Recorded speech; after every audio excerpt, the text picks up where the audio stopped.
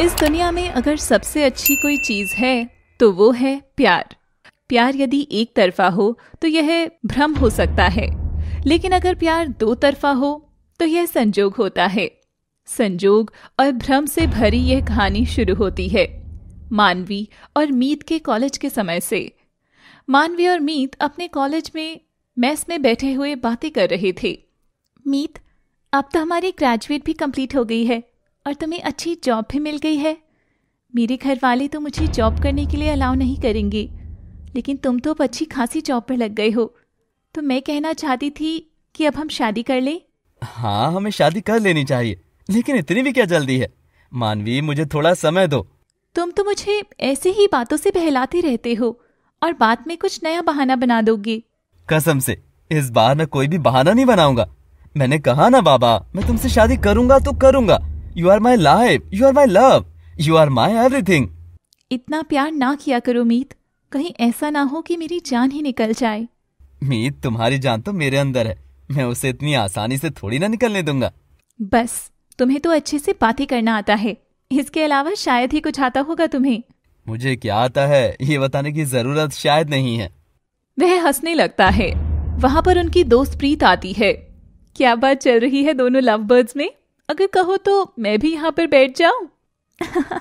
क्यों नहीं? बैठो। प्रीत मानवी मुझे शादी के लिए बोल रही है। मैंने मानवी को कहा कि मुझे थोड़ा समय और दो। उसके बाद मैं खुद ही मम्मी पापा से बात करके तुमसे शादी कर लूँगा। हाँ तुमने सही कहा। मीत वैसे भी अभी तो तुम्हारी जॉब शुरू होने वाली है। उसके बाद सेटल होने में कितना टाइम लगे कुछ पता थोड़ी ना होता है। मानवी तुम्हें मानना तो पड़ेगा मीत सही कह रहा है। और रही बात शादी की तो वह तुम्हारे अलावा किसी और का थोड़ी ही है। मीत तुमसे ही शादी करेगा। अच्छा मैं चलता हूँ। मुझे कुछ काम है। मीत वहाँ से चला जाता है। मानवी प्रीत से बोली प्रीत मैं सच में मीत से बहुत प्यार करती हूँ। उसके बिना जीने का तो मैंने सोचा भी नहीं है। कहीं ऐसा ना हो कि हम दोनों को अलग होना पड़ जाए। मीत एक गरीब परिवार से है और मेरे पापा अपने पैसों के घमंड में न जाने मेरी शादी मीत से करेंगे भी या नहीं। मानवी चिंता ना कर। अगर प्यार सच्चा हो तो परिणाम भी अच्छा ही होता है। चल अब घर चलते हैं। मानवी अपने घर आ जाती है। मानवी को घर में घर आता देख मानवी की मम्मी, आओ मेरी गुड़िया, मुझे तुमसे बहुत ज़रूरी बात करनी है। मम्मी, अंदर कोई गेस्ट आए हुए हैं क्या? पापा किन लोगों से बात कर रही हैं? अरे रुको तो मैंने कहा ना, मुझे तुमसे बातें करनी है। आओ मेरे साथ चलो। मानवी अपनी मम्मी के साथ कमरे में चली जाती है। मानवी, हमारे घर जो आए हैं, वे बहुत बड़े लोग हैं। उनका एक लौता बेटा माधव तुम्हें बहुत पसंद करता है। वह तुम्हारे रिश्ते के लिए आए हैं। रिश्ता लेकर? और चुप हो जाती है। क्यों क्या हुआ बेटी? तुम्हें कोई प्रॉब्लम है इस रिश्ते से? मामा यू you नो know, कि मैं किसी और से प्यार करती हूँ। मुझे नहीं पता कि माधव कैसा लड़का होगा लेकिन मीत मेरे लिए सब कुछ है। मुझे नहीं लगता कि भगवान ने उससे अच्छा लड़का कोई बनाया होगा। वह मुझे कितना समझता है कितना प्यार करता है। मैं उसके साथ हमेशा खुश रहूँगी मम्मा मीत? आखिर कौन है यह मीत? कहाँ रहता है? कितनी प्रॉपर्टी है उसके पास? मम्मी उसके पास कोई प्रॉपर्टी तो नहीं है लेकिन वह बहुत ही टैलेंटेड है। और मुझे पता है कि एक दिन वह हर मुकाम हासिल करेगा जिससे मुझे हर खुशी मिल पाएगी। बेटा तेरी गलती नहीं है। ये उम्र ही ऐसी है। हमको सिर्फ़ सपना अच्छा लगता है लेकिन सपनों को हकीकत में बदलना कोई आसान खेल नहीं होता। तुमने मुझे तो यह सब बोल दिया अपने पापा को मत बोलना वरना उन्हें लगेगा कि उनकी परवरिश में कोई कमी रह गई होगी। जो तूने उनके साथ यह सब किया। तभी पापा की आवाज़ आती है। मानवी बेटा जरा इधर आओ। तुम्हें किसी से मिलवाना है। मानवी जाने लगती है। यह लड़की एकदम से पागल है। इसके रिश्ते वाले आए हैं और ये ऐसे ही जा रही है। मम्मी मानवी को रोकते हुए बोली अरे रुक ये कपड़े तो सही कर ले और सर पर पल्लू रख ले। तब उनके पास जाना। मम्मी मानवी के गले में पड़े दुपट्टे को उसके सर पर रखकर अब तुम पापा के पास जाओ। मानवी को आता देख मानवी के पापा का दोस्त डॉक्टर मेहरा मन में सोचता हुआ ये लड़की तो सच में बहुत सुंदर है। मैंने इससे सुंदर लड़की आज तक कभी नहीं देखी। माधव की माँ से देखकर बहुत खुश होगी। आओ बेटी बैठो। और कॉलेज की पढ़ाई कैसी चल रही है? जी अंकल सब सही चल रहा है। तो आगे का क्या प्लान है तुम्हारा? कोई जॉब वगैरह करना चाहती हो? जी अंकल मेरा तो मन है जॉब करने का लेकिन मम्मी पापा इसके लिए राज़ी नहीं है। कोई बात नहीं बेटा जिस घर में शादी होगी फिर वही तुम्हारे मम्मी पापा होंगे। वो जैसा कहेंगे वैसा ही करना। हाँ भाई साहब आपने बात तो सही कही है। शादी के बाद मानवी पर हमारा भला क्या हक होगा? मुझे तो लड़की बहुत पसंद है। बाकी मैं माधव की मम्मी से बात करके बता दूँगा। अच्छा भाई साहब अब मैं चलता हूँ। और वह बाहर निकलकर अपनी महँगी कार में बैठकर वहाँ से चला जाता है। इनकी कार भी कितनी महँगी है सच में। उनके घर शादी करके तो हमारी लड़की के भाग ही खुल जाएँगे। लेकिन मानवी रोते हुए अपने कमरे में चली गई। ये क्यों रो रही है? इससे क्या हुआ?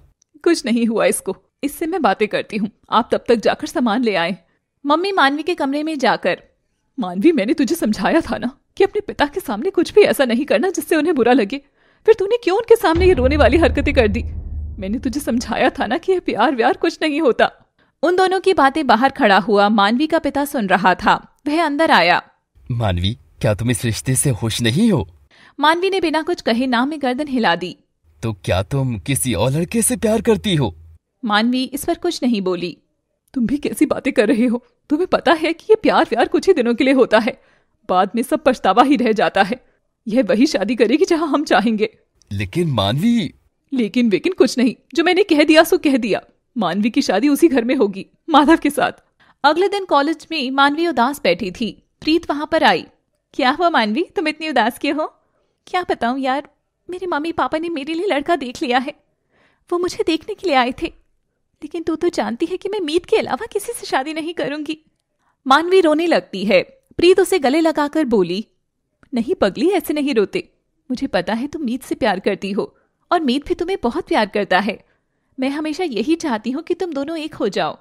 प्रीत एक मुस्कान के साथ वापस बैठ जाती है। तभी मीत वहाँ पर आता है। मानवी की आँखों में आँसू देख मीत की भी आँखें नम हो जाती हैं। क्या हुआ मानवी? तुम इतना परेशान हो कि तुम्हारी आँखों से आँसू बह रहे हैं। नहीं तो मेरी आँखें तो बिल्कुल भी नम नहीं है। तो अब तुम मुझसे झूठ बोलोगी। मुझे तुम्हारी खुशी गम उदासी सब कुछ पता चल जाता है। तो तुम मुझसे झूठ तो नहीं बोल पाओगी। अब बताओ मुझे क्या हुआ है? मैंने कहा ना कुछ नहीं हुआ। तो मुझे बताओ तो कि क्या हुआ है। मैं सब कुछ सही कर दूँगा। क्या सही करोगे तुम? तुम कुछ नहीं कर सकते मीत। तुम बोल कर तो देखो तुम जो कहोगी मैं करूँगा। तुम मुझसे बातें करना बंद कर दो। मैं तुमसे बिल्कुल बातें नहीं करना चाहती। मानवी वहाँ से रोते हुए चली जाती है। मीत को कुछ समझ नहीं आ रहा था कि यह हो क्या रहा है। वह प्रीत से बोला प्रीत मानवी को क्या हुआ? प्रीत ने अपने हाथ हिलाते हुए बोला मुझे क्या पता? मुझे तो कुछ बताया नहीं। जब से ऐसे ही बैठी है बस रोए जा रही है।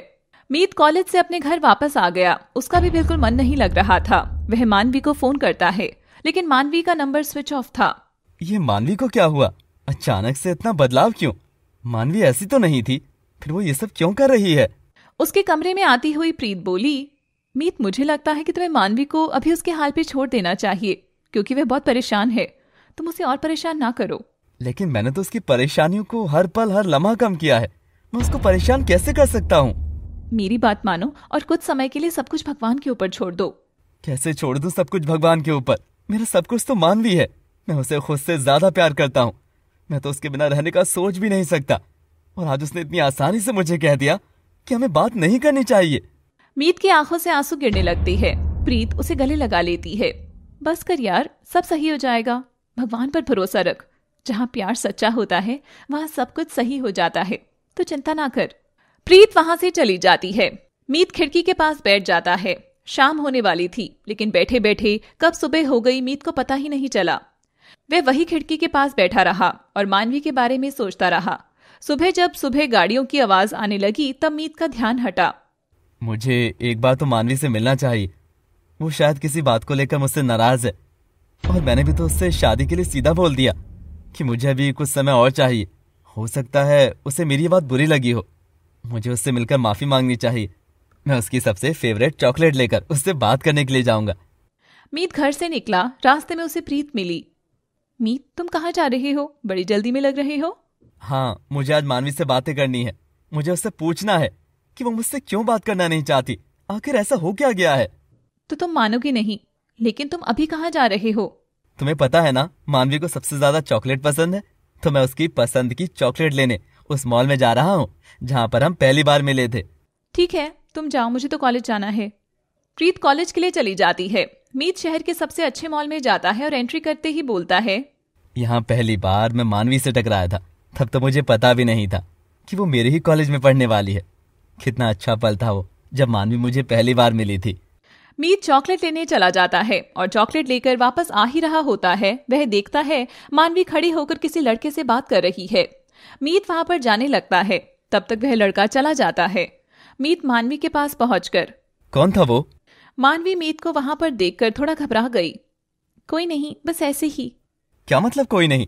तुम किसी लड़के के साथ थी ना? कौन था वो? मैं किसी के साथ रहूँ किसी से बात करूँ? तुम्हें क्या मतलब? मैंने तुम्हें कहा था ना मुझसे बातें ना करो। तुम्हें समझ नहीं आता क्या?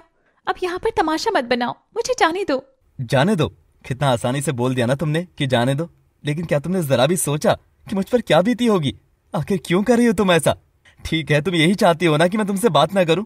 मैं तुमसे बात नहीं करूँगा। मीत हाथ में पकड़ी चॉकलेट वहीं पर गिराता है और वहाँ से चला जाता है। मीत के जाने के बाद मानवी आँखों में आँसू भरकर सारी चॉकलेट उठाती है। अब मैं तुम्हें क्या ही बताऊँगी? बस मैं इतना जानती हूँ कि मैं तुम्हें प्यार करती हूँ और बहुत ज़्यादा प्यार। मीत वहाँ से चला जाता है। मानवी चॉकलेट उठाकर रोने लगती है। मीत अपने घर पहुंचकर। आखिर मानवी अपने को समझने क्या लगी है? वो मेरे प्यार को ठुकरा कर किसी और की हो गई है। उससे इतनी बड़ी बेवफाई की उम्मीद तो मैंने सपनों में भी नहीं की थी। वो चाहती है कि मैं उससे बातें करना छोड़ दूँ। ऐसा बिल्कुल भी नहीं करूँगा। मैं उसे उसके किए की सजा ज़रूर दूँगा। मानवी, तुमने मेरा प्यार देखा है। अब मेरी नफरत देखना। मीत कॉलेज के लिए निकलता है। मीत को देखकर प्रीत उसके पास आती है। क्या हुआ मीत? तुम मानवी से मिलकर आ गए? नाम न लो मेरे सामने उसका। वो बहुत बदल चुकी है। वो मेरी मानवी नहीं हो सकती। मानवी मुझसे बहुत प्यार करती थी। वो मेरी मानवी कभी नहीं हो सकती।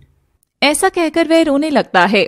मीत मैंने तुम्हें पहले ही कहा था कि उसे उसके हाल पर छोड़ दो लेकिन तुमने मेरी बात नहीं मानी। मुझे पता है कि वह तुमसे प्यार नहीं करती। तो तुम उससे दूर ही हो जाओ तो अच्छा है ना? लेकिन मैं इतनी आसानी से उससे दूर नहीं जाऊँगा। उसने जो मेरे साथ किया है मैं उसका बदला ज़रूर लूँगा। मीत प्यार में बदला नहीं लिया जाता। तुमने मानवी को प्यार किया। अगर मानवी तुम्हें प्यार नहीं करती तो उसमें मानवी की कोई गलती नहीं है। प्यार चीज़ ही ऐसी है। वह जिससे हो जाए तो लगन से होती है। और जिससे ना हो तो लाख कोशिश करने के बाद भी नहीं होती। क्या मतलब है तुम्हारा? मानवी मुझे प्यार करती थी। मानवी तुम्हें प्यार करती थी। तुम्हें प्यार करती नहीं है। मीत प्यार को प्यार से जीता जाता है। अगर तुम भी मानवी से बदला लेने की सोचोगे, मुझे नहीं लगता कि तुम कुछ हासिल कर पाओगे। और वैसे भी तुम नहीं चाहते ना कि मानवी किसी दर्द में रहे तो क्यों उसकी ज़िंदगी में दर्द देना चाहते हो? सही कह रही हो। मानवी ने मेरे साथ जो भी किया, लेकिन मैं तो उससे प्यार करता हूँ। मुझे आज पता चला है, मेरा प्यार एक तरफा प्यार था। मैं मानवी को प्यार करता रहा वो मेरे साथ धोखा ही करती रही। खैर, होनी को जो मंजूर था वो हो गया। अब ना तो मैं मानवी के रास्ते में आऊँगा और ना ही मानवी को दिखाई पड़ूँगा। मानवी के घर, तू क्या सोच रही है बैठे हुए? मैंने तुझे कहा था ना, उस लड़के को भूल जा। वह सिवाय दर्द के तुझे और कुछ नहीं दे सकता। माधव को देख, उसके पास किसी चीज़ की कमी नहीं है। वह तुझे रानी की तरह रखेगा। मैं तेरी माँ हूँ। मैंने भी कुछ सोच के ही यह फैसला लिया होगा। माधव और माधव की माँ तुझसे मिलने आ रही हैं। तुझे मैंने जैसा कहा है वैसा ही करना। मैंने कब कहा कि मैं तुम्हारे विपरीत जाऊँगी? तुम मेरी माँ हो और मुझे भी पता है तुम जो कह रही हो वे गलत नहीं होगा। तुम जैसा बोलोगी अब मैं वैसा ही करूँगी। मानवी की बात सुनकर उसके पिता बोले मुझे अपनी बेटी पर नाज है जो मेरे लिए इतना सब कुछ कर रही है। मानवी अपने पिता की बात सुनकर मन में सोचती है शायद यही मेरी गलती है कि मैं तुम्हारी बेटी हूँ। तुम्हारी बेटी होने का फ़र्ज़ मुझे अपने प्यार को कुर्बान करके चुकाना होगा। मीत न जाने मेरे बारे में क्या सोच रहा होगा। लेकिन मैं क्या करूँ? हालात ने मुझे इतना मजबूर कर दिया है कि मैं चाहकर भी कुछ नहीं कर सकती। वहाँ पर माधव और उसकी माँ आती है, मानवी की मम्मी। आओ बहन जी, आओ। हम आपका ही वेट कर रहे थे। बड़ी देर कर दी आपने आने में। आंटी जी, मैं तो मम्मी से कब से कह रहा था कि जल्दी चलो जल्दी चलो। लेकिन ये है कि घर का काम ही खत्म करने पर लगी रही। बहन जी, अब तुम ही इन बच्चों को समझाओ कि घर का काम छोड़कर भला ऐसी थोड़ी ना कहीं आया जाया जाता है। घर का काम भी तो ज़रूरी होता है। अब हमें आने में कभी देर नहीं होगी, क्योंकि जब मानवी बहू बनकर हमारे घर चली जाएगी तो फिर घर का सारा काम वही तो किया करेगी। मेरे पास तो बस घूमने का ही समय बचेगा। बहन जी, बात तो आप बिल्कुल सही कही है। हाँ बैठो, मैं अभी मानवी को बुलाती हूँ। अरे मानवी बेटा, जरा पानी लेकर आना। मानवी पानी लेकर माधव और उसकी माँ के पास जाती है। जैसा माधव के पिता ने बताया था ये तो उससे भी कहीं ज़्यादा सुंदर है। मानवी के सर के ऊपर दुपट्टा रखा हुआ था। बहन जी आपकी लड़की सुंदर ही नहीं संस्कारी भी है। वरना आज के टाइम में भला कौन अपने सर पर पल्लू से ढकता है? मुझे तो लड़की बहुत पसंद आई। माधव माधव तू कुछ कहना चाहेगा? मैं तो अपने दिल की बात तुमसे पहले ही कह चुका हूँ मम्मी। अब मुझे कहने के लिए बचा ही क्या है? अच्छा बहन जी अब हम चलते हैं।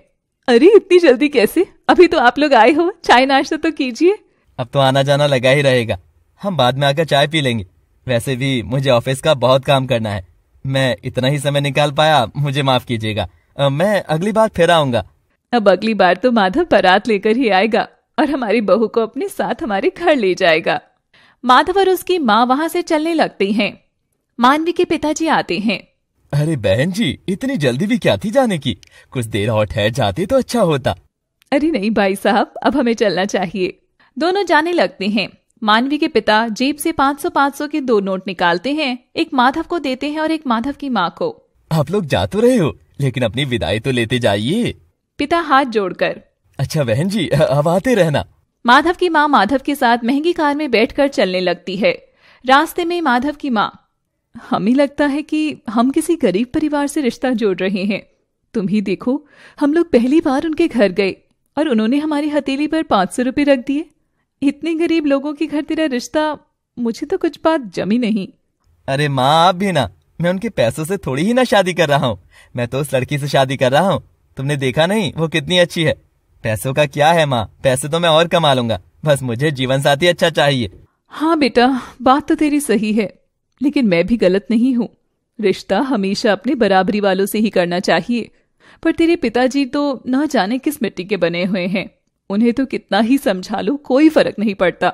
माधव और माधव की माँ अपने बड़े घर में आ जाते हैं। माधव के पिता उनको देखकर। आ गए तुम दोनों हमारी होने वाली बहू को देखकर। तो कैसी लगी तुम्हें? लड़की तो बहुत अच्छी लगी है। लेकिन मुझे नहीं लगता कि वह हमें कुछ दहेज वहेज दे पाएँगे। मैं तो कहती हूँ कहीं और अपनी लड़की का रिश्ता कर देते हैं। आखिर हमारे लड़के में कमी ही क्या है?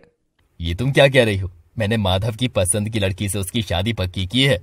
हमारे बेटे की पसंद से बढ़कर हमारे लिए कुछ नहीं है। तुम बस अब शादी की तैयारियाँ करो। आखिर वह दिन आ ही जाता है जब माधव और मानवी की शादी हो जाती है। माधव और मानवी की फ़र्स्ट नाइट के बाद माधव की नींद खुलती है। ये मानवी सुबह सुबह उठकर कहाँ चली गई? इसको तो बेड पर ही होना चाहिए था। वह बाहर जाकर देखता है मानवी किचन में चाय बना रही थी। मानवी तुमने आते ही काम शुरू कर दिया। अभी तो तुम्हारी रसोई की रस्म भी नहीं हुई थी और तुम किचन में चाय बनाने के लिए आ गई। माँ और पिताजी सोए हुए थे तो मैंने सोचा कि सबके लिए चाय बना दूँ इसलिए मैं चाय बनाने के लिए आ गई। तुम सच में बहुत अच्छी हो। मैं जैसी लड़की चाह रहा था ऐसी लड़की ही मिली मानवी चाय को कप में डालने लगती है कि तभी एक कप नीचे गिरकर टूट जाता है। कप की आवाज़ से माधव की माँ की आँख खुलती है। हे भगवान सुबह सुबह क्या नुकसान कर दिया? वह उठकर आती है तो देखती है कि मानवी के हाथ से कप गिरकर टूट गया है। तुम्हें आई एक दिन भी नहीं हुआ और तुमने इतना महँगा कप तोड़ दिया। तुम्हें पता भी है इसकी कीमत कितनी थी। हाँ, तुम्हें कैसे पता होगा? यह कप कितना महँगा था। तुम्हारे बाप के घर तो ऐसे कप थे ही नहीं ना? ये तुम क्या कह रही हो? आते ही बहू पर रौब दिखाने लगी। तुम्हें सीरियल देखकर सीरियल वाली सास होती जा रही हो। आप तो चुप ही रहिए। आप और माधव ने मिलकर मेरे सपनों को चकनाचूर कर दिया है। तुम्हें पता है जब मेरी बहन के बेटे की शादी हुई थी उनकी बहू ने मुझे सोने की अंगूठी दी थी। इसके घर वालों ने तो माधव को भी कोई खास कीमती अंगूठी तक नहीं दी। यह सुनकर मान भी बहुत उदास होती है। मेरी सास मुझे गरीब होने का एहसास करा रही है। मेरे पिता ने मुझे ज़्यादा कुछ नहीं दिया इसमें मेरी क्या गलती? छोड़ो। मेरे पति मुझे अच्छे मिले हैं। बाकी से मुझे क्या लेना है? माफ़ कीजिएगा माँ जी मैं आगे से ऐसी गलती दोबारा नहीं करूँगी। वह कप को समेटकर डस्टबिन में डाल देती है। शाम में माधव ऑफ़िस से वापस आता है। मानवी की तबीयत खराब होने के कारण वह बेड पर लेटी हुई थी। महारानी खड़ी होकर खाना वाना बना लो या बस बेड तोड़ना है तुम्हें? ये आप क्या कह रही हैं? मेरी तबीयत खराब हो रही थी। मुझे चक्कर आ रही थी इसलिए मैं थोड़ी देर के लिए लेट गई।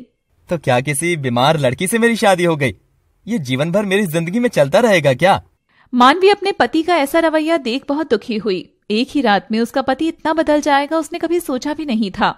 लगता है मुझसे बहुत बड़ी गलती हो गई है। मैंने जैसा माधव को समझा था, ये तो बिल्कुल वैसा नहीं है। अगर आज मीत मेरे पास होता तो वह मुझे बेड से उठने को भी नहीं देता। और माधव ने तो मेरे पति होने का रो मुझ पर आज से ही जमाना शुरू कर दिया है। अब जो भी हो माँ बाप की इच्छा से की गई शादी और ये परिवार मेरे लिए सब कुछ है। अब तो मुझे इसी घर में रहना है। उधर मीत का रो रो कर बुरा हाल था। प्रीत उससे मिलने चली गई। मीत की हालत देखकर प्रीत बोली मीत तुमने अपना ये क्या हाल कर लिया है? किसी के जाने के बाद खुद को ऐसी सजा ना दो। जो तुम्हारा था ही नहीं उसे लेकर इतना परेशान क्यों हो रही हो? तो मैं क्या करूँ? मेरा मन किसी भी चीज़ में नहीं लग रहा है। मैं ज़िंदा ही क्यों मुझे समझ ही नहीं आ रहा। तुम पागल हो गए हो। खुद के बारे में सोचो। आखिर क्या कमी है तुम में? तुम एक अच्छे लड़के हो समझदार भी हो और अब तो तुम्हारी जॉब भी लग गई है। खुद को इतना काबिल बना लो कि तुम्हें किसी चीज़ की कमी ना पड़े। लेकिन मानवी की कमी तो कोई पूरा नहीं कर पाएगा ना? वो मेरी ज़िंदगी थी। तुम गलत सोच रहे हो। ज़िंदगी वही होती है जो भगवान ने हमें दी है। और किसी के बिना कोई मरता नहीं है। समय सब कुछ भुला देता है। समय के साथ सब कुछ सही भी हो जाता है। तुम ज़्यादा जज्बाती मत बनो। खुद पर कंट्रोल करना सीखो। प्रीत मीत को गले से लगा लेती है। दर्द से भरा मीत जब प्रीत के गले लगता है तो उसे बेहद ही सुकून मिलता है। वह अपनी आँखें बंद कर कुछ समय तक प्रीत के गले से लगा रहता है। मीत, क्या हुआ? छोड़ो मुझे। प्रीत कुछ मत बोलो। बस ऐसे ही मेरा सहारा बनी रहो। मीत का ऐसा व्यवहार देख प्रीत बोली तुम्हें हो क्या गया है मीत? खुद को संभालो। मैं खुद को संभाल नहीं पाऊँगा प्रीत। मुझे किसी के सहारे की ज़रूरत है। क्या तुम मेरा सहारा बनकर मेरे साथ चलोगी? प्रीत यह सुनकर घबरा जाती है। वह बोली ये तुम क्या कह रहे हो? मानवी को तुमसे दूर हुए अभी कुछ दिन भी नहीं हुए और तुम उसके प्यार को भूल बैठे हो। तुम उसे भूलकर मेरे साथ रहना चाहते हो। मैं तो सिर्फ़ तुम्हारी दोस्त हूँ। नहीं, तुम गलत समझ रही हो। मैं तो एक दोस्त की हैसियत से ही तुमसे ये सब बोल रहा हूँ। जब तक मैं सही नहीं हो जाता, तब तक तुम मेरे साथ ही मेरे घर पर रहो। मैं प्रॉमिस करता हूँ कि तुम्हें किसी तरह की कोई प्रॉब्लम नहीं होने दूँगा। मीत, तुम अभी होश में नहीं हो। तुम्हें पता भी नहीं है तुम क्या कर रहे हो। मुझे लगता है मुझे अब चलना चाहिए। प्रीत वहाँ से चली जाती है। प्रीत रास्ते में सोचती है, मीत आखिर ऐसे क्यों कर रहा था? क्या वह मुझसे प्यार करने लगा है? नहीं, मुझे नहीं लगता कि मीत मुझे प्यार करेगा। वह तो मानवी को ही प्यार करता है। मीत के बारे में सोचते हुए प्रीत अपने घर जाती है। यह मीत को आज क्या हो गया था? वह मुझे लेकर इतना सीरियस क्यों था? लेकिन आज उसके गले लगकर मुझे जो फीलिंग आई, वह फीलिंग्स मीत के लिए मुझे पहले कभी नहीं आई। क्या मैं मीत से प्यार करने लगी हूँ? नहीं। मीत बस मुझे अच्छा लगता है। मैं उसे प्यार तो नहीं करती, और वैसे भी मीत तो परेशान है, इसलिए उसने मुझे इस तरह से खुद में समेट रखा था। लेकिन मैं क्या करूँ? मैं भी तो उस पल को भुला नहीं पा रही हूँ। मुझे भी लग रहा है कि मैं मीत के क्लोज हो जाऊँ। क्या यह करना सही होगा? मानवी मेरे बारे में क्या सोचेगी? मुझे नहीं लगता यह सही होगा। प्रीत अपने सोफे पर बैठ जाती है। उधर मीत परेशान सा अपने घर में बैठा हुआ था। आज जो मैंने प्रीत के साथ किया, क्या वो सही था? कहीं उसे बुरा तो नहीं लगा? वो मेरी सबसे अच्छी दोस्त है। मानवी के बाद एक वही तो है, जो मुझे अच्छे से समझ सकती है। लेकिन मैं क्या करूँ? मैं परेशान ही इतना था कि मुझे कुछ खबर ही नहीं रही। प्रीत की आगोश में आकर मुझे जो सुकून मिला, वो बस मैं ही जानता हूँ। वही सुकून मुझे हर बार चाहिए। मानवी अब मेरी लाइफ में नहीं है। तो क्या मैं प्रीत को अपनी लाइफ में लेकर आ जाऊँ? नहीं, ये सही नहीं होगा। फिर से वही प्यार, वही धोखा, वही मेरे विश्वास का टूटना। मैं और नहीं टूट सकता। प्रीत ने मुझसे कहा था कि मैं इस लायक बन जाऊँ कि मुझे किसी चीज़ की ज़रूरत ही ना पड़े। अब मैं यही करूँगा। और कल तो मेरी जॉब की ज्वाइनिंग डेट भी है। कल मैं अपनी जॉब पर जाऊँगा। मानवी सुबह उठकर माधव के लिए नाश्ता बना रही थी। मानवी कहा हो तुम? मुझे नहाने जाना है। मेरे कपड़े निकाल दो। अभी आई। मैं आपके लिए नाश्ता बना रही थी। आप तब तक नहा लो मैं कपड़े निकाल देती हूँ। माधव नहाने के लिए चला जाता है। मानवी उसके कपड़े निकाल रही थी तभी माधव के फ़ोन पर एक कॉल आती है। माधव का फ़ोन रिंग कर रहा है। वो तो नहाने गया है। मुझे ये फ़ोन उठाना चाहिए या नहीं? मैं इसको उठा ही लेती हूँ। कभी फिर बाद में मुझ पर माधव गुस्सा करे कि मेरी इंपॉर्टेंट कॉल को तुमने रिसीव नहीं किया? यह सोचकर मानवी कॉल रिसीव कर लेती है कॉल की दूसरी तरफ़ से। कहा हो जान? और कितना वेट कराओगे? तुमने मुझसे कहा था तुम जल्दी मेरे पास आओगे। लेकिन तुम अब तक घर से नहीं निकले। और मेरी सौतन कैसी है? अब तो तुम्हारे मन की बात भी पूरी हो गई। तो कब उससे छुटकारा पा रहे हो? मैं तुम्हारा वेट कर रही हूँ। जल्दी आ जाओ। कॉल कट हो जाती है। यह सब सुनकर मानवी के पैरों तले ज़मीन खिसक गई थी। ये क्या हो रहा है? आखिर किसकी कॉल होगी माधव के फ़ोन पर? माधव ने मेरे साथ शादी नहीं की, बल्कि मुझे धोखा दिया है। वह किसी और को प्यार करता है? लेकिन उसने मेरे साथ ऐसा क्यों किया? मैं माधव को पहले ना तो जानती थी, ना ही मैंने माधव को पहले कभी देखा था। मुझसे कैसा बदला ले रहा है? अरे, तुम अभी यहीं पर खड़ी हो। मैं नहाकर भी आ गया। मेरे कपड़े कहाँ हैं? जी वो मैं। क्या जी वो मैं? तुम्हें पता नहीं मुझे देर हो रही है। एक काम ठीक से नहीं होता तुमसे। पता नहीं कहाँ से मेरे पल्ले पड़ गई हो। मानवी उदास मन से माधव के कपड़े निकाल कर माधव को देती है और वापस किचन में जाकर नाश्ता बनाने लगती है। मैं चलता हूँ माँ। शाम को आने में थोड़ी देर हो जाएगी। सुनिए मैंने नाश्ता रेडी कर लिया है। तुम नाश्ता करके तो चले जाओ। क्या मैं तुम्हारा टिफ़िन भी लगा दूँ ऑफ़िस के लिए? मुझे ज़्यादा हमदर्दी दिखाने की ज़रूरत नहीं है। एक तो तुम लेट उठकर नाश्ता तैयार कर रही हो।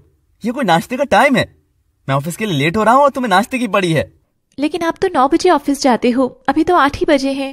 तो अब तुम मुझसे ज़ुबान भी लड़ाओगी। बेटा छोड़े से। ये छोटे लोग हैं। इनको समय की पाबंदी का क्या पता? इसके घर में कभी कोई ऑफ़िस गया हो तो यह जाने की ऑफ़िस में कैसे जाया जाता है? तो आराम से जा और रास्ते में कुछ खा लेना। भूखे पेट काम मत करना। तुम मेरी चिंता मत करो माँ। लेकिन इसे थोड़े मैनर्स सिखा दो। मुझे पता है तुम कौन से ऑफ़िस जा रही हो। मैंने फ़ोन पर सब कुछ सुन लिया है। मैं पता लगा कर रहूँगी कि तुम कहाँ जा रही हो। माधव वहाँ से चला गया। माधव के जाने के बाद मानवी बोली माँ जी घर का कुछ सामान खत्म हो गया है। मैं सामान लेने के लिए जा रही हूँ। तुझे बड़ी जल्दी है सामान लाने की। सीधा सीधा क्यों नहीं बोलती कि तुझे घूमने के लिए जाना है? तुझे आए हुए चार दिन नहीं हुए और घर का सामान लाने की बात कर रही है। अरे माधव की माँ इसमें गलत भी क्या है? बेचारी जब से आई है तब से घर से बाहर भी नहीं निकली। थोड़ा घूम फिर लेगी तो यहाँ से बाहर निकलकर थोड़ा मन हल्का हो जाएगा। बेचारी को जाने भी दो। वैसे भी मुझे कुछ काम है तो मैं सामान नहीं ला पाऊँगा। मानवी ही ले आएगी। आखिर उसे भी तो घर की ज़िम्मेदारी संभालनी ही है। अगर तुम भी जाना चाहो तो तुम उसके साथ चली जाओ। मैं इसके साथ क्यों जाऊँ? मुझे लोगों के ताने सुनने में कोई भी दिलचस्पी नहीं है।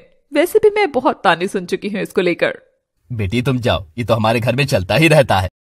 आप क्या बोल रही हैं? मैं तो सिर्फ़ बाज़ार से सामान लेकर आई हूँ।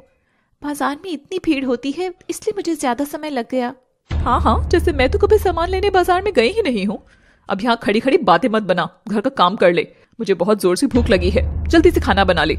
मानवी किचन में जाकर खाना बनाने लगती है, लेकिन मानवी के मन में वही बात चल रही थी। माधव ने मेरे साथ ऐसा क्यों किया? कौन है जो मेरी मदद कर सकता है? क्या मैं मीत को यह सब पता करने के लिए बोलूँ? नहीं, मीत मेरी बात क्यों मानेगा? वो तो मुझसे नफरत करने लगा है। और उसमें इसकी कोई गलती भी नहीं है। अगर कोई मेरे साथ ऐसा करता तो शायद मैं भी उसे माफ़ नहीं कर पाती। मानवी और प्रीत कॉलेज में बैठे हुए थे। मानवी, तू इतनी उदास ना हो। जो भी होगा सही हो जाएगा। कुछ सही नहीं होगा, तू जानती है। मीत मुझे कितना प्यार करता है। और मैं भी मीत को कितना प्यार करती हूँ। हमें कुछ ऐसा करना होगा, जिसमें मीत मुझसे खुद ही दूर हो जाए। तू तो मेरी सबसे अच्छी दोस्त है। तू मुझे बता कि मैं क्या करूँ? सच्चे प्यार को यदि धोखा दे दिया जाए तो सच में प्यार करने वाला इंसान टूट जाता है। क्या मतलब है तेरा प्रीत? मैं किसी और लड़के से अफेयर शुरू कर दूँ? नहीं मैं ऐसा नहीं कर सकती। मैं कब कह रही हूँ कि शुरू कर। बस तुझे ऐसा दिखाना है जैसे कि तुम मीत को प्यार नहीं करती। बाकी सब मैं संभाल लूँगी ठीक है जब मीत आएगा मैं उसे बोल दूँगी कि वह मुझसे बात ना करे। उसके बाद मीत वहाँ पर आता है। क्या हुआ मानवी? तुम उदास क्यों बैठी हो? मैं बिल्कुल भी उदास नहीं हूँ। क्या मैं तुम्हें समझता नहीं हूँ? तुम मुझे बताओ तो। मैं सब सही कर दूँगा। तुम जो बोलोगी मैं वही करूँगा। तुम मुझसे बातें करना बंद कर दो। मैं नहीं चाहती कि अब हम दोनों बात करें। उस दिन के बाद से मीत मुझसे नफरत करने लगा होगा। और वह मॉल वाली घटना को तो मुझे आज तक समझ नहीं आई। वह लड़का कौन था? जिसे मीत मेरा बॉयफ्रेंड समझ रहा था। वो तो महज एक इत्तेफाक था। मुझे मम्मी के लिए कपड़े लेने थे। मुझे मॉल चलना चाहिए। वहाँ पर अच्छे कपड़े मिलते हैं। मानवी मॉल में कपड़े लेने जाती है। मीत भी वहाँ पर मानवी के लिए चॉकलेट लेने आया हुआ था। मानवी कपड़े लेकर बाहर आती है तभी वहाँ लड़का आता है। एक्सक्यूज मी क्या आप मुझे बता सकती हैं कि पास में कोई एटीएम है क्या? मैं मॉल में शॉपिंग कर रहा था। शॉपकीपर बोला कि उसकी कार्ड मशीन खराब है इसीलिए मुझे कैश निकालना होगा। हाँ मॉल के बाई तरफ़ एक एटीएम है आप वहाँ जा सकते हैं। लड़का वहाँ से चला जाता है तभी मीत वहाँ पर आता है। कौन था वो लड़का? कोई नहीं बस ऐसे ही। क्या बस ऐसे ही? मीत चॉकलेट गिराकर चला जाता है। मानवी रोते हुए चॉकलेट उठाती है। यह सब कैसे हुआ मुझे नहीं पता। वह लड़का कौन था मैं तो जानती भी नहीं थी। और मीत को लगा कि वह मेरा बॉयफ्रेंड है। सच में अजीब इत्तेफाक है यह ज़िंदगी भी ना। ना जाने क्या क्या खेल खेलती रहती है। मानवी यह सोचते हुए भूल गई थी कि वह खाना बना रही है। उसकी सब्ज़ी के जलने की महक पूरे घर में घूमने लगी थी। उसकी सास वहाँ आकर ये तो क्या कर रही है? सारी सब्ज़ी जला दी। तुझे खाना बनाना आता नहीं है क्या? ही भगवान मेरे तो कर्म ही फूट गए हैं। कैसी बहू मिली है? इससे अच्छा तो मैं माधव की शादी अपनी दोस्त की लड़की से कर देती तो बहुत अच्छा होता। अब खड़ी खड़ी मेरा मुँह मत देख। जल्दी से ये सब साफ़ कर दे। मानवी सब साफ़ करने लगती है। अगली सुबह। आज मेरा ऑफ़िस का पहला दिन है। मुझे थोड़ा जल्दी ही निकलना होगा। मीत अपने ऑफ़िस चला जाता है। ऑफिशियल सूट में मीत बहुत स्मार्ट लग रहा था जैसे कोई फ़िल्म का हीरो हो। उसे देखकर ऑफ़िस के आसपास के लड़के आपस में बोले क्या पर्सनैलिटी पाई है? यार इसे तो मॉडल होना चाहिए था। ये कहाँ कंपनी में आ गया है? मीत अपने बॉस से मिलता है। बॉस उसको सारा काम बता देते हैं। मीत एक समझदार लड़का था तो वह काम बहुत अच्छे से करता है। ये लड़का तो मुझे लंबी रेस का घोड़ा लग रहा है। ये जॉब इसके लिए नहीं बनी। लगता है किसी मजबूरी की वजह से यहाँ पर आ गया है। बॉस मीत के पास जाता है और बोलता है क्या तुम इस जॉब को लेकर खुश हो? हाँ क्योंकि मुझे बड़ी मेहनत से ये जॉब मिला है। अगर मैं तुम्हें कोई इससे अच्छा काम दूँ तो क्या तुम करोगे? मतलब मैं कुछ समझा नहीं। मेरा एक कार का शोरूम है। मैं चाहता हूँ तुम वहाँ पर मैनेजिंग डायरेक्टर बन जाओ, क्योंकि तुम्हारे बात करने के तरीके और तुम्हारी पर्सनैलिटी जॉब के लिए नहीं है। तुम मेरे शोरूम पर काम करोगे तो मैं तुम्हें यहाँ से दोगुनी सैलरी दूँगा। मीत यह सुनकर खुश हो गया। उसके पहले ही दिन इतना अच्छा ऑफ़र मिल गया। वह खुश होकर हाँ बोल देता है। बॉस उसको अपना कार्ड देता है और चला जाता है। तभी प्रीत का फ़ोन मीत के पास आता है। हेलो मीत कैसा रहा तुम्हारा ऑफ़िस का पहला दिन? प्रीत मत पूछो यार। क्या हुआ? काम में मन नहीं लगा क्या? या काम पसंद नहीं आया? ऐसा नहीं है तुम्हें पता है मेरे बॉस ने मुझे एक नई जॉब ऑफ़र की है कार शोरूम की। मैं वहाँ पर सीधा मैनेजिंग डायरेक्टर बना हूँ। गुड अब तो तुम एक बड़े आदमी बन जाओगे। फिर तो मुझे भूल जाओगे ना? प्रीत तुम कैसी बातें करती हो? तुम्हें याद है ना मैंने तुम्हें कुछ कहा था कल? तुमने जो कहा था मैं उसे अब तक नहीं भूल पाई मीत। कैन वी मीट हाँ क्यों नहीं मैडम जी? और मुझे लगता है कि ये सब तुम्हारी वजह से ही हुआ है। अगर तुम मुझे वो सब भुलाकर आगे बढ़ने के लिए ना बोलती तो शायद आज मैं वहीं पर पड़ा हुआ होता। तुम सच में मेरे लिए लकी हो। खुद के बारे में ऐसी बात सुनकर प्रीत सोचने लगी। शायद मीत मुझे पसंद करने लगा है। मैं तो कॉलेज टाइम से ही मीत को पसंद करती हूँ। अगर हम दोनों एक हो जाएँ तो क्या ही कहनी। आज शाम को जब हम मिलेंगे तो मैं मीत को अपने दिल की बात बता दूँगी। मीत प्रीत से शाम में मिलने की बातें करता है। अब आगे। आज जब मैं शाम को मीत को मिलूँगी तो मैं उसे अपने मन में छिपी हर बात बता दूँगी। अब मुझे बस शाम का इंतज़ार करना है। यह शाम मेरे लिए बहुत खास होने वाली है। प्रीत की वजह से ही मैं इस मुकाम पर पहुँच पाया हूँ। मुझे लगता है मानवी के बाद प्रीत मेरा सच्चा जीवन साथी बन पाएगी।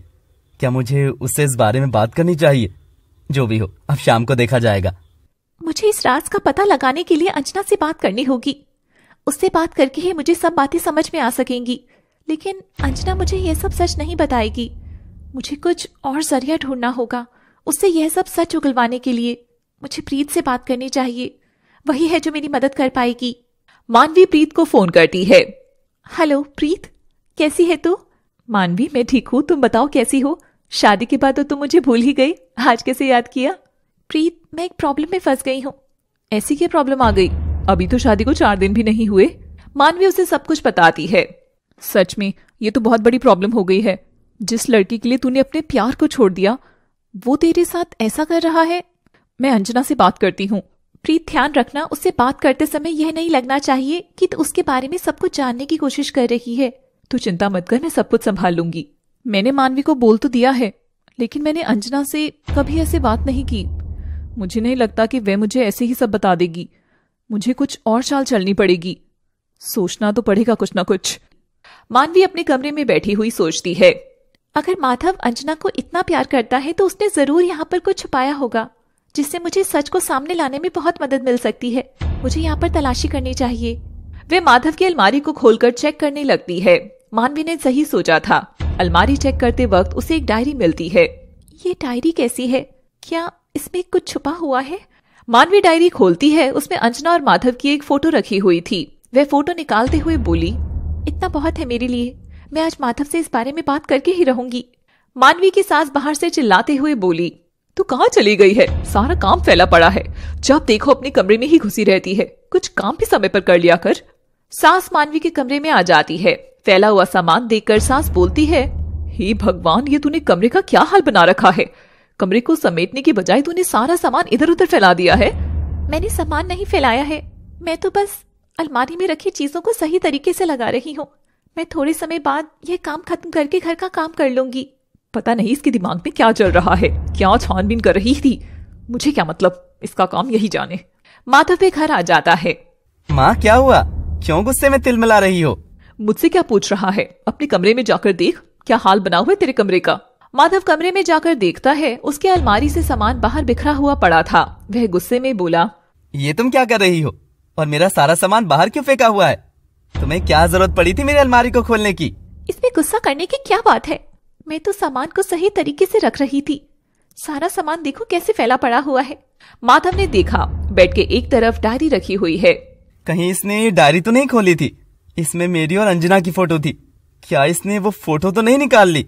माधव डायरी को उठाता हुआ बोला जल्दी से मेरी अलमारी को पहले जैसी कर दो और अपना दिमाग कम चलाया करो। मेरे सामान को छूने की कोई ज़रूरत नहीं है। माधव डायरी को लेकर वहाँ से बाहर निकल जाता है। डायरी खोलकर देखता हूँ। क्या वो फ़ोटो अभी भी इसी में रखा हुआ है? माधव डायरी खोलकर देखता है। चलो अच्छा हुआ। उसने फ़ोटो नहीं देखा वरना तो फालतू में बखेड़ा खड़ा कर देती। अंजना का फ़ोन माधव के पास आता है। हेलो माधव क्या तुम घर पहुँच गए हो? हाँ अंजना मैं घर पहुँच गया हूँ। माधव तुम घबराए हुए क्यों हो? मैं घबराया हुआ नहीं हूँ। आज मानवी ने मेरे अलमारी में सामान लगाने के लिए सारा सामान बाहर निकाल लिया था। वो तो अच्छा हुआ कि मेरी डायरी में रखा हुआ तुम्हारा और मेरा फ़ोटो उसने नहीं देखा वरना तो न जाने क्या होता। तुम उससे इतना डरते क्यों हो? वे कौन सा हमेशा तुम्हारे साथ रहने वाली है? अगर कुछ कहेगी तो तुम उसे तलाक दे देना। तुम्हारा साथ निभाने के लिए मैं हूँ ना? मैं हर पल हर दम तुम्हारे साथ रहूँगी। सच में, तुम मुझे कितना प्यार करती हो? मेरी कितनी केयर करती हो? एक मानवी है, जिससे मेरे होने ना होने का कोई फ़र्क ही नहीं पड़ता। उसकी इन्हीं हरकतों की वजह से मुझे उसे देखने का मन भी नहीं करता। छोड़ो भी उसकी बातें, अपनी बातें करो। माधव को बात करता देख मानवी बोली ये ज़रूर उससे ही बात कर रहा होगा, लेकिन मैं भी कुछ नहीं कर सकती। प्रीत सोच ही रही थी, मैं कैसे अंजना के बारे में पता करूँ? अंजना प्रीत के पास फ़ोन करती है। हेलो, प्रीत, कैसी हो? माफ़ कीजिए, मैंने आपको पहचाना नहीं। अरे, मैं तुम्हारी क्लासमेट अंजना। भूल गई क्या? तुम और मानवी बहुत अच्छे दोस्त हो। मुझे यह बात बहुत अच्छे से पता है। तो मुझे मानवी के बारे में ही तुमसे कुछ बातें करनी थी। हाँ हाँ बोलो, क्या हुआ? क्या तुम फ्री हो? अगर फ्री हो तो मुझसे आकर मिलो। अब शाम हो गई थी। प्रीत सोचने लगी थी। शाम को तो मुझे मीत से भी मिलना है। और अंजना मुझे अपने पास बुला रही है। मुझे अंजना के पास जाना चाहिए या मीत के पास? अभी मानवी की मदद करना ज़्यादा ज़रूरी है। मैं तो अंजना के पास ही जाती हूँ। वह अंजना को फ़ोन करके बोलती है अंजना, मैं आ रही हूँ। तुम कहाँ पर हो? तुम्हारे घर के पास जो मॉल है, वहीं पर मिलते हैं। कुछ देर बाद दोनों मॉल में मिलते हैं। कहाँ हो अंजना? कैसे मुझे फ़ोन करके यहाँ पे बुलाया? यार, मुझे तुझसे एक बात करनी थी। तेरी दोस्त मानवी की शादी माधव नाम के लड़के से हुई है, लेकिन जहाँ तक मुझे लगता है, मानवी किसी और लड़के को प्यार करती थी। क्या यह बात सच है? मैं तो इसके बारे में जानने के लिए आई थी। ये तो उल्टा मानवी के बारे में जानने की कोशिश कर रही है। हो ना हो यह सच्चाई जानकर माधव को बताएगी जिससे माधव और ये मिलकर मानवी का फ़ायदा उठा सकेंगे। मैं तो ऐसा बिल्कुल नहीं होने दूँगी। आ, नहीं नहीं मुझे नहीं लगता कि वह किसी लड़के से प्यार करती थी। अगर वह किसी लड़के से प्यार करती होती तो माधव से शादी थोड़ी ना करती। हाँ एक लड़का उसका बेस्ट फ्रेंड ज़रूर है लेकिन वो तो मेरा बॉयफ्रेंड है। क्या तुम उम्मीद की बात कर रही हो? हाँ उसी की बात कर रही हूँ। मीत मेरा बॉयफ्रेंड है। मुझे बस यही जानना था। लेकिन अंजना, तुम ये सब क्यों जानना चाहती हो? मुझे अभी तक समझ नहीं आया। मुझे बातों को ज़्यादा घुमाना तो नहीं आता, इसलिए मैं सीधा सीधा तुम्हें बता देती हूँ। माधव मेरा बॉयफ्रेंड था। मेरी फैमिली एक मिडिल क्लास फैमिली है जिसे माधव के घर वाले हमारी शादी करने के लिए तैयार नहीं थे। तो हम दोनों ने यह प्लान बनाया कि माधव की शादी किसी और लड़की से करा देंगे। फिर उनके तलाक के बाद उसके घर वाले मेरी शादी माधव से करने पर मजबूर हो जाएँगे। ये तुम क्या कह रही हो? मज़ाक करने के लिए तुम्हें मैं ही मिली थी क्या? अब जो सच है वो बता दो, क्योंकि मुझे पता है, माधव एक अच्छा लड़का है और वह मानवी को बहुत प्यार करता है। वह मानवी को इतना प्यार करता है कि उसके घर परिवार को देखे बिना उसने मानवी से शादी करने के लिए हाँ कर दी थी। इस पर अंजना गुस्सा हो गई और बोली, वह मानवी को प्यार करता है? माई फुट वह थोड़ा सा भी मानवी से लगाव नहीं करता। मानवी की सुंदरता को हासिल करने के लिए ही उसने यह सब किया है। मैं कुछ समझी नहीं।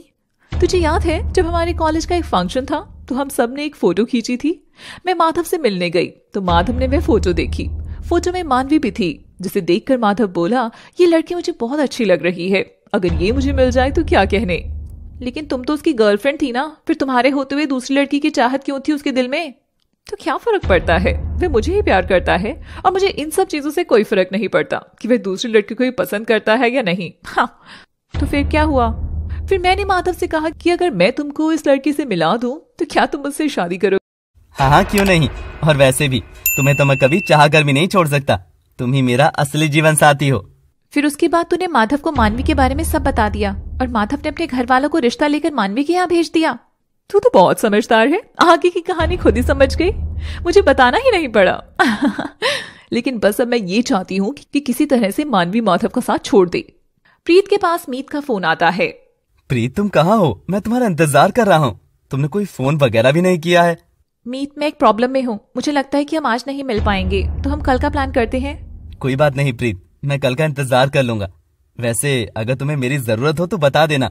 मैं तुम्हारी मदद करने के लिए आ जाऊँगा। अरे नहीं, ऐसी भी कोई प्रॉब्लम नहीं है। फ़ोन रखकर प्रीत सोचती है कि मुझे मानवी की बुराई करनी चाहिए, जिससे अंजना मुझ पर और ज़्यादा विश्वास करके सब बता दे। अंजना, तुमने अच्छा किया जो मुझे बता दिया। वैसे मानवी मुझे भी पसंद नहीं है। वह बहुत ही घमंडी लड़की है। उसे अपनी सुंदरता पर बहुत घमंड है। इसलिए मैंने उसकी शादी के बाद उसे बात करना ही छोड़ दिया। लेकिन अब तो उससे बातें करनी ही पड़ेंगी।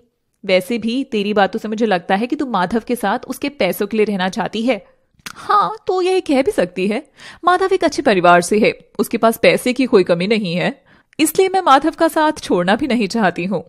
तो मैं कोई काम फ्री में क्यों करूँ? तुझे उसकी कीमत चुकानी होगी।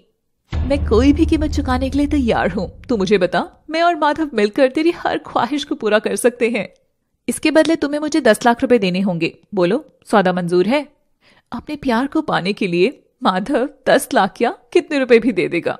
तुम पैसों की चिंता मत करो। तुम बस मानवी को हमसे दूर करने का कोई तरीका निकालो। अब मैं चलती हूँ। मैं जाकर ऐसा गेम खेलती हूँ कि मानवी खुद ही माधव को तलाक देने के लिए मजबूर हो जाएगी। प्रीत वहाँ से आ जाती है और अपने घर पर बैठकर सोचती है। माधव ने मानवी को इस्तेमाल करने के लिए ही बस उससे शादी की थी। कितना मतलबी है ये लड़का। और कैसी है अंजना? जो अपने ही बॉयफ्रेंड को ऐसी अयाशी करने के लिए किसी लड़की की ज़िंदगी तक से खेल सकती है? मुझे मानवी को सच बता देना चाहिए।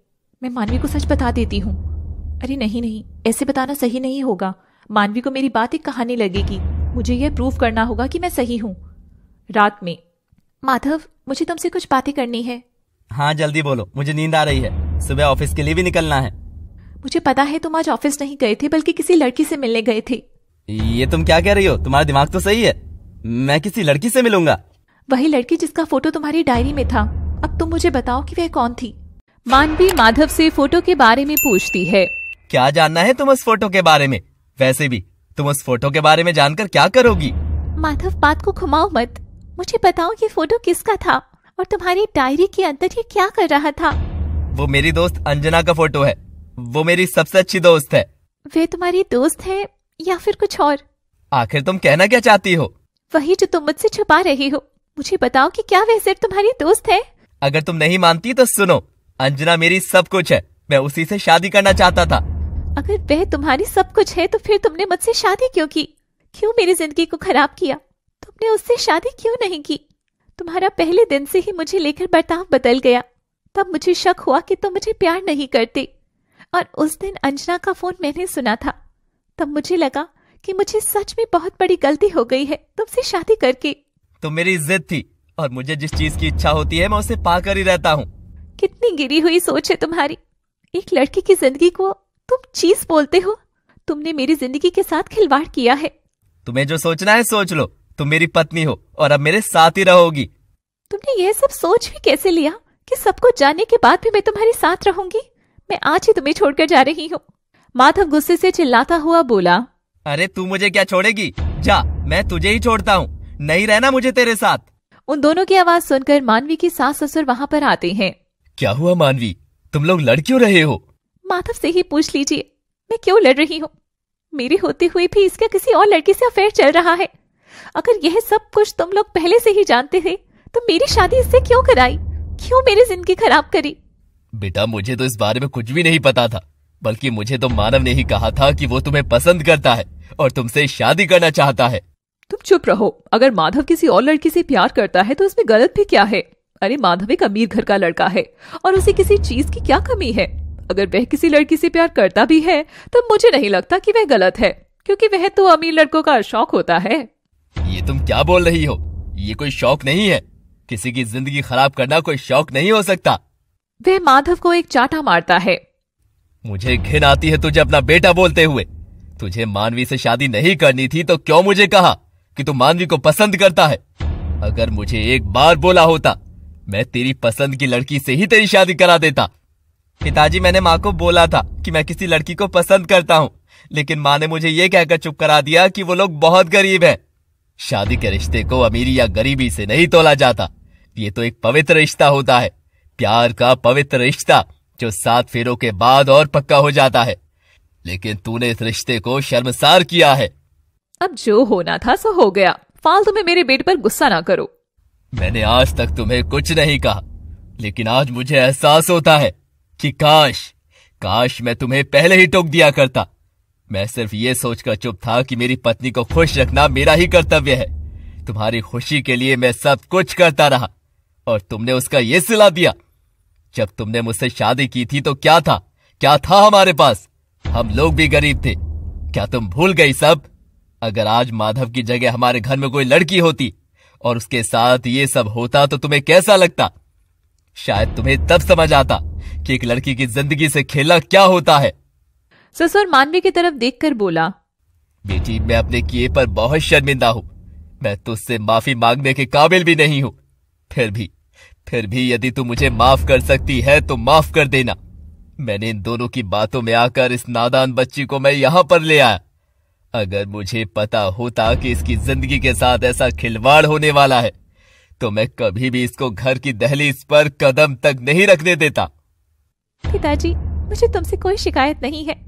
तुमने वही किया जो एक पिता को करना चाहिए था। शायद मेरी ही किसी जन्म का ये पाप होगा जो मुझे ऐसे लड़के से शादी करनी पड़ी जो इतना गिरा हुआ है। अपनी जबान को लगाम दो मानवी। तुम हद से ज़्यादा बढ़ती जा रही हो।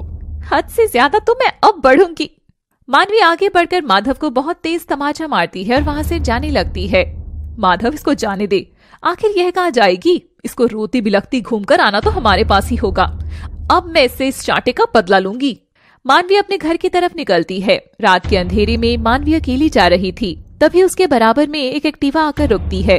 एक्टिवा पर बैठी लड़की बोली, क्या हुआ मानवी? कहाँ जा रही हो?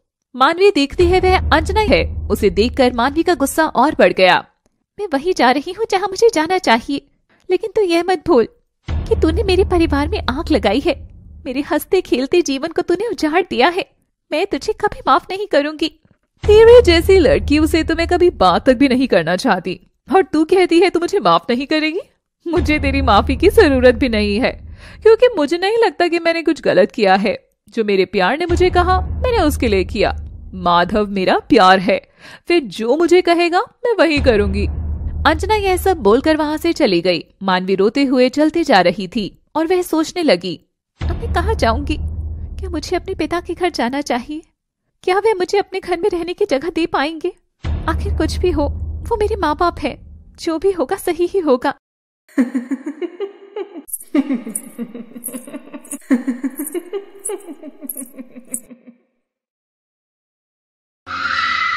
टिंग टोंग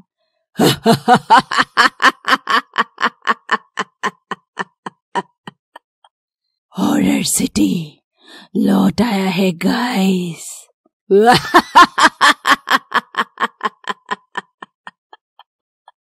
बहुत दिनों बाद वापसी की हूँ। मुझ बिन क्षमा बुझी बुझी सी थी, पर अब नहीं होगी। लौट आया है हॉरर सिटी अपनी वही डरावनी कहानियों के साथ, जहाँ डर का मतलब मुझ जैसी हसीना होगा।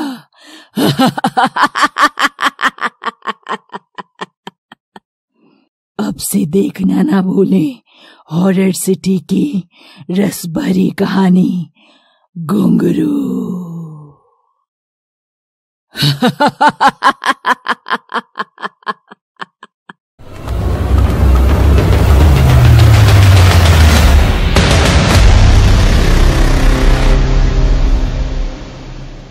ऐसा सोचकर मानवी अपने घर की तरफ़ चलने लगती है।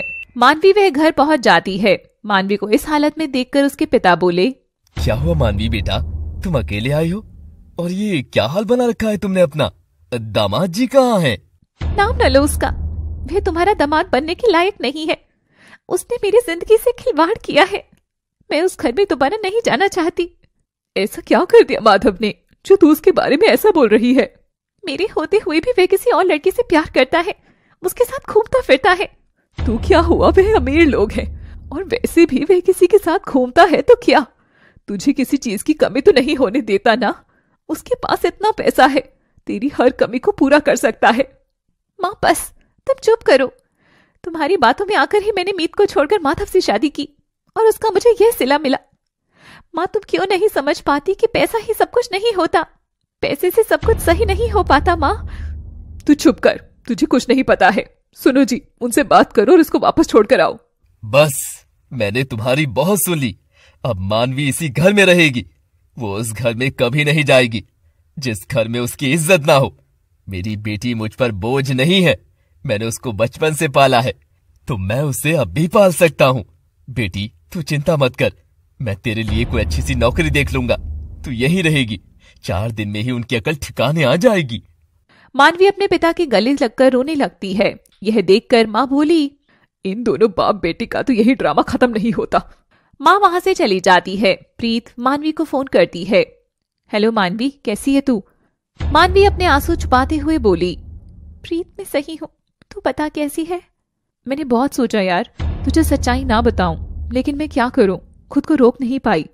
सच तो यह है कि माधव तुझे प्यार नहीं करता, वो तो अंजना को प्यार करता है।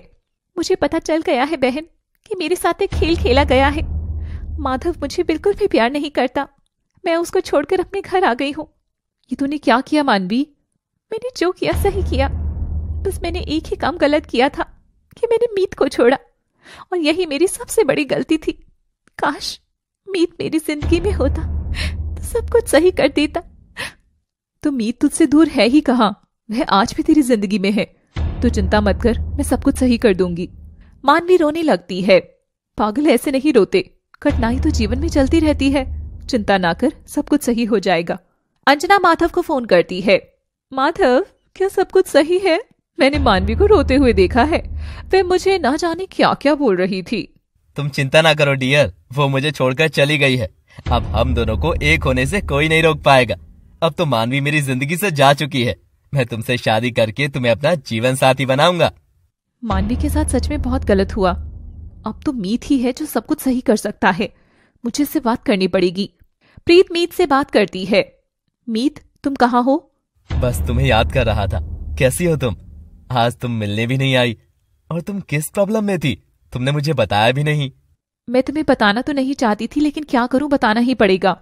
मीत सच्चाई यह है कि मानवी आज भी तुम्हें उतना ही प्यार करती है जितना प्यार तुम्हें कल करती थी। मैं उसको भूल चुका हूँ।